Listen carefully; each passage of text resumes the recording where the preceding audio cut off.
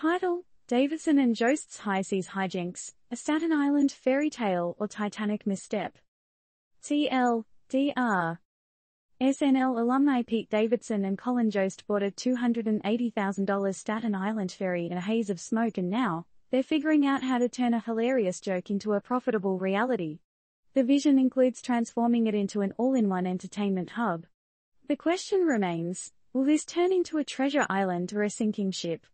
Once upon a time, two merry pranksters from the lands of Saturday Night Live, Pete Davidson and Colin Jost, found themselves in a high-octane whimsy. The result?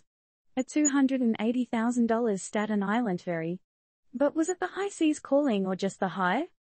Before long, the fantasy became a reality, and it seems that not even the sober light of day could make it disappear. So what do two comedians do when they find themselves owning a massive ferry with no real game plan? They go on a podcast and crack some jokes, of course exclamation mark.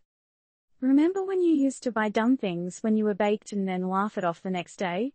Imagine waking up and finding a big old ferry parked in your driveway. You think, wait, did I buy a boat last night? Yep, Welcome to Pete Davidson's world. Now, the real question is, can he sail out of this mess or will he need a lifeboat?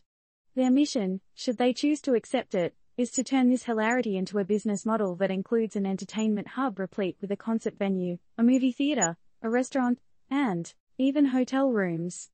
Can you imagine? It's like an amusement park that floats. Talk about riding the wave. The duo have reportedly commissioned computer-generated mock-ups of this multi-venue maritime dream, a project they say is well underway, although it's still a good five years away from completion.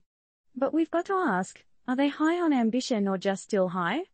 As this comedic odyssey unfolds, we are left wondering if the fairy tale of two comedians buying a ferry will turn into a profitable enterprise or just another punchline. Either way, it's an unforgettable sea adventure worth the price of admission. Or in their case, the cost of a $280,000 ferry. While the specifics of their maritime plan seem impressively detailed, Davidson jokingly admits, we are two idiots who bought a boat. Fair enough, Davidson. You certainly got our attention, and we're all aboard for this ride. But let's get serious for a moment. What does it mean when two successful comedians buy a ferry on a lark? Is it a testament to their carefree spirit, or is it a sign that they have more money than they know what to do with? What do you think? And what about you?